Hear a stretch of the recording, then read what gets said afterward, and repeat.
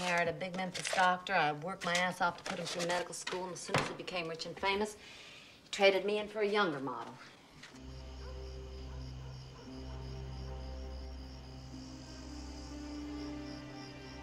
I didn't have a dollar to put food in the fridge or a car to go look for a job. I figured I could handle it myself, just like you.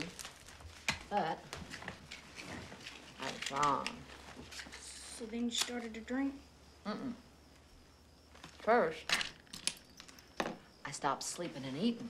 I was scared to death. I just kept staying up every night watching my babies, trying to figure out what I was going to do. Finally, I took some pills to sleep. Hell, he prescribed them for me. I was not trying to kill myself. But that's when it pounced. Got himself a fancy lawyer. I didn't have anybody. I figured after all those years of blowing noses and wiping butts and fixing meals and carpooling the kids every which way, you know, that'd count for something. I was a fool. The court declared me unfit. Just like that. They were gone. He took my little girl, my little boy.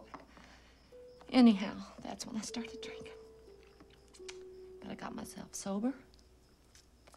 I stayed sober. And I put myself through law school. Do you miss your kids? So much I try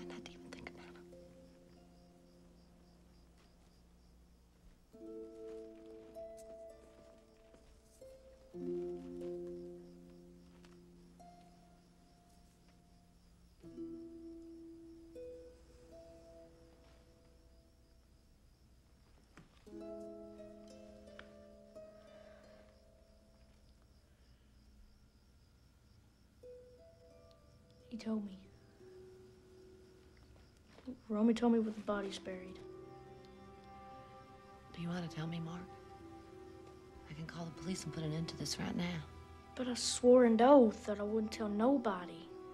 They're gonna get me, Reggie. I seen it on TV. The mob never forgets. Oh my God, they came after you, didn't they? Yes, ma'am. I gotta get security on your brother's room and notify the police and get you out of here back to the hospital where you'll be safe. Reggie, I'm scared.